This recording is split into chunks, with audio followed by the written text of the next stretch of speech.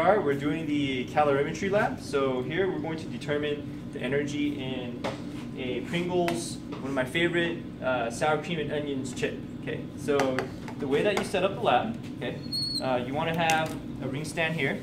Uh, this cork right here, um, there's actually a cork inside. I wrapped it with aluminum foil so it, it insulates the cork from getting burned. And then this thing right here is a giant paper clip, which I kind of like made into a stand. So you can just like stick it right onto the cork.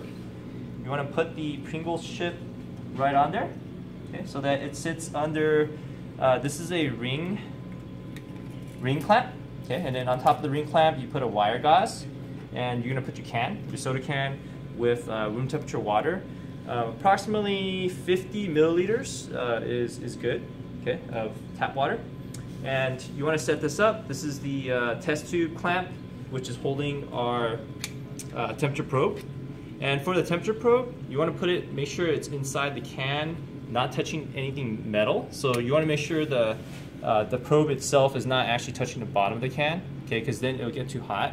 What you want to do is um, make sure the probe is only touching the water, okay. So probe is connected to the LabQuest Mini. LabQuest Mini is connected to the laptop. And on the laptop, you can open up Logger Pro. Okay, so you open up the folder and you're gonna open up biology with Vernier. Then you're gonna pick number one, energy and food. Click open. Okay, and then uh, you know just click yes or whatever. Um, and then you want to go to where this stopwatch kind of icon is. Click on it, and you want to make sure that it's at 10 minutes, the duration right here. If it's not at 10 minutes, just change it to 10 minutes okay? Everything else you could leave um, the way how it is okay? And you just click done.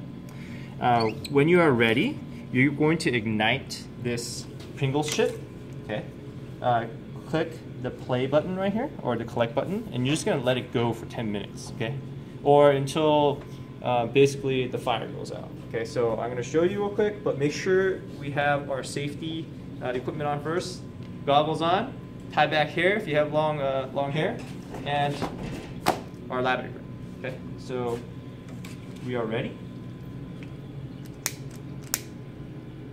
So we want to keep the fire on until we get a nice flame going. So once you know like there's an actual flame going, then you click the collect button.